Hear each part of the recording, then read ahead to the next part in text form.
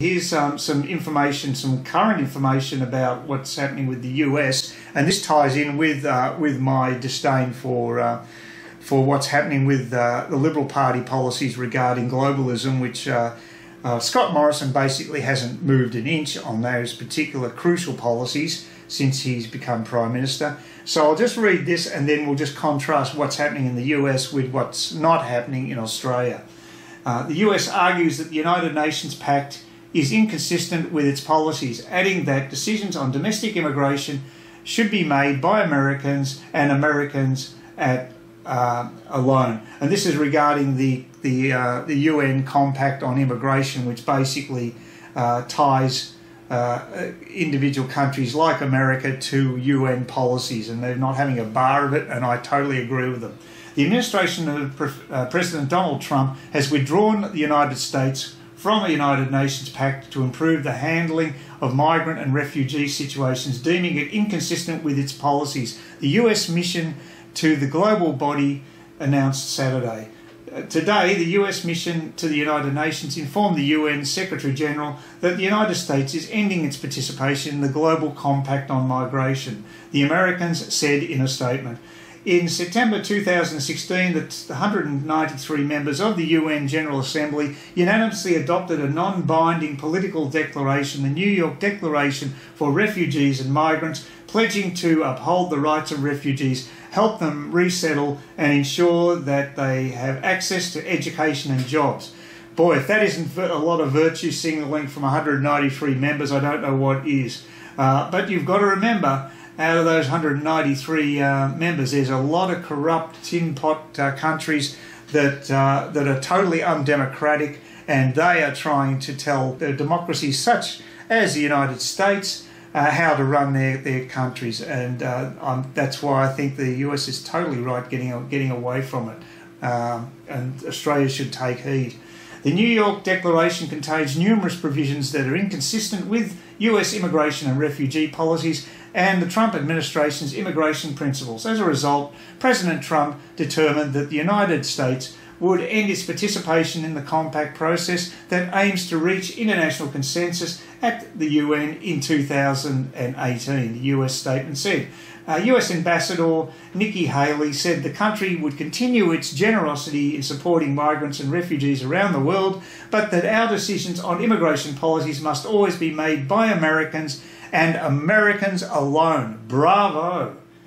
We will decide how to best control our borders and who will be allowed to enter our country. The global approach in the New York Declaration is simply not compatible with US sovereignty. Again, bravo. That's exactly how we should be doing things in Australia. We have sovereignty. Well, we've got some left, uh, and we need to hold on to what little we have. Uh, under Trump and his America First policies, the United States has withdrawn from several global commitments made under the administration of President Barack Obama, including the Paris Climate Deal. More recently, America, America pulled out of the Paris-based culture and education policy uh, body UNESCO, accusing it of anti-Israel bias. And that would be right because there are so many um, pro-Arabic um, uh, and Islamic uh, countries that obviously on these committees and, and what have you that would basically stack them way against uh, the interests of, of, uh, of, democratic countries in the world. And, you know, we shouldn't be copying it. As a matter of fact, I just think the the UN's totally useless, to be honest. And and I, uh, my understanding was that the US was one of the biggest backers financially. I, I think they should just pull funding altogether and get, get them out of New York and just uh, they can set up in bloody some some crap hole in some place like Nigeria for all I care. But uh, they don't they, they don't deserve the status that they've got, and I think it's dwindling anyway. But getting back to how this affects us in Australia, uh, like Scott Morrison, you'd think that, uh, like I said, Alan Jones, you think uh, Scott that the sun shines out of Scott Morrison's ass the way he's talking about him, talk about uh, pumping the guy up.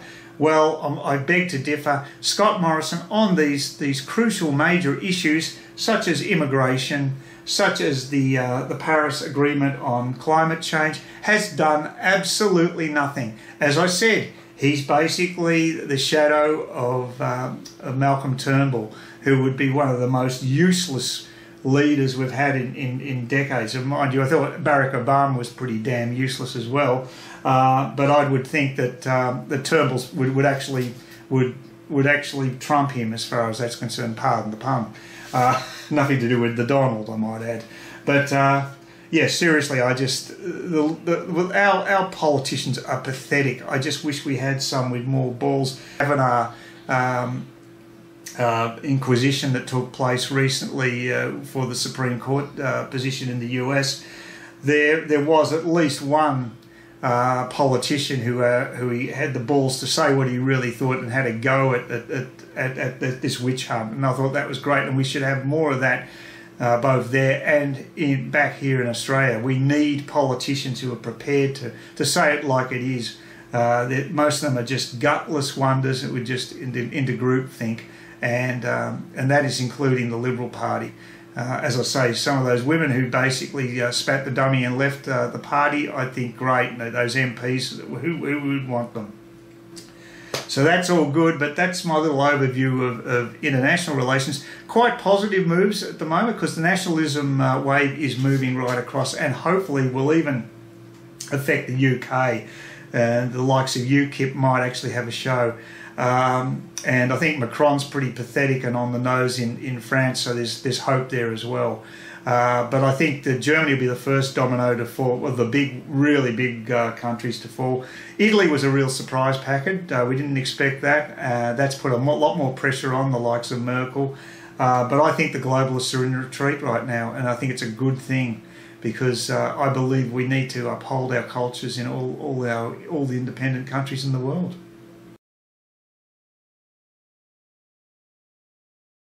The IPCC, this is the Achilles heel for, I guess, all, many governments in the Western world at the moment, are now making another report on climate change. Uh, you've disposed of this so-called national energy guarantee. You've turned energy debate from renewable to reliable. Um, shouldn't we be seeking a simple national energy policy which makes us independent because we're resource rich?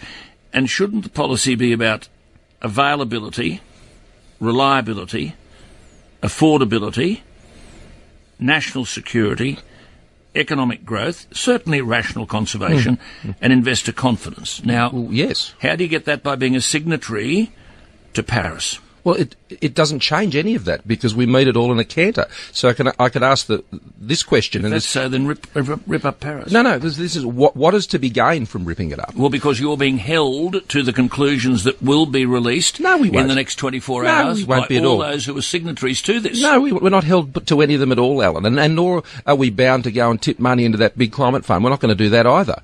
So I'm not going to spend money on you know global climate conferences and all that sort of nonsense. I'm not going to get in there if and that's the case, why don't you just say we're out of it? Because, Alan, um, for a couple of reasons. First of all, when Australia signs up to something, and it wasn't the previous Labor government who signed up to this, it wasn't the previous Labor government that committed us to a 26% target, that was actually our government that did that. And I was part of that government, and when Australia puts its word to something, it means something. The second is, as I've said on your program before, that this is an enormously important issue to our partners in the Pacific, who are strategic partners in the Pacific. So my question is, what's to be gained from ripping it up?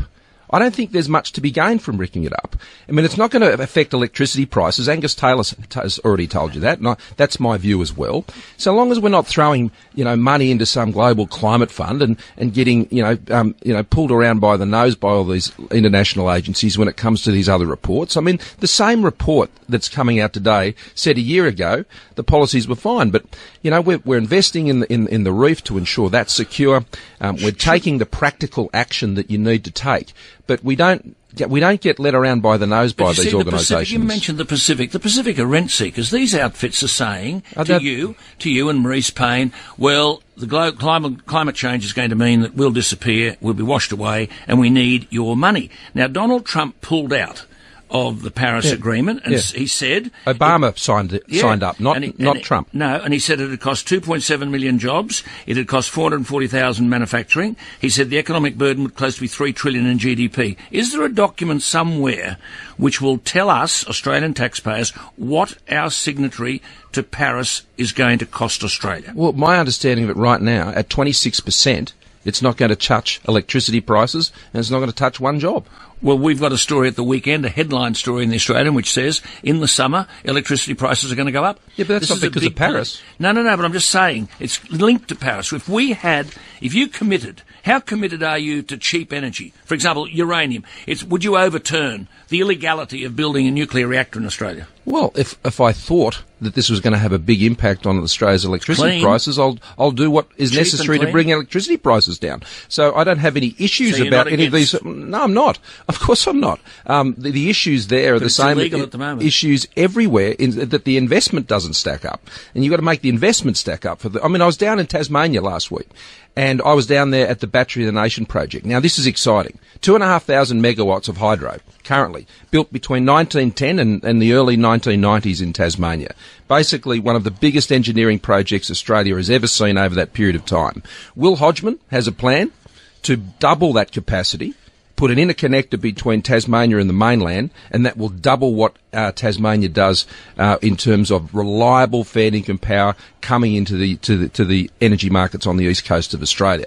Now that's another great project, and I've talked about how excited I am about that project. The interconnector, there's the pumped hydro assets that go right across Tasmania. I mean, that is the Tasmania is the capital of hydro in Australia, and it can be the nation's battery. But see, you've got an election coming up early next year. There's a story in the Weekend Australia on page nine. It said soaring summer power bills predicted that electricity prices on the east coast and in the southern states will spike. Now they're going to blame you for this. Well, they can't blame 26% because we meet that in a canter. That's Well- my well, point. what- but you're guaranteeing lower prices, and they're saying they won't be lower. The ACCC forecasts that gas prices will add $15 a gigajoule over summer. That's four times. Yeah, I know, and it'd be great to get more gas out well, of the why ground. don't you have a gas? No. Why not have a gas reservation policy and stop exporting all this we stuff? Effectively do, Alan. no, but you don't have effectively. It's not no, mandatory. and it's not a statutory If we, requirement. if, if we believe the gas is not going to be delivered in the quantums that is required in Australia, then we have a policy to prevent that. I mean, that's what got the gas availability for this year and for next year. Um, and we need more gas from under our feet. There's no doubt about that. Um, we've got in Victoria, we have a state government that has a ban on conventional gas exploration. Yeah, but we've got it's enough. crazy. We've got enough gas to last us the next 174 years, And we need more of ex- it. But no, we export the stuff. We're exporting the stuff.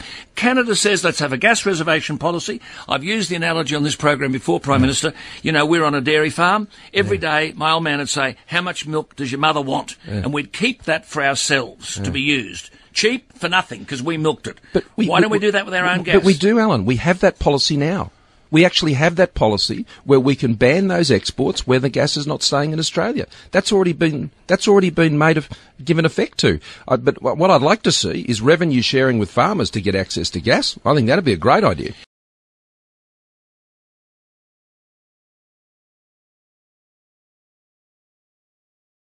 Please uh, consider subscribing to my channel if you think there's anything there of, uh, of use to you or entertainment or whatever.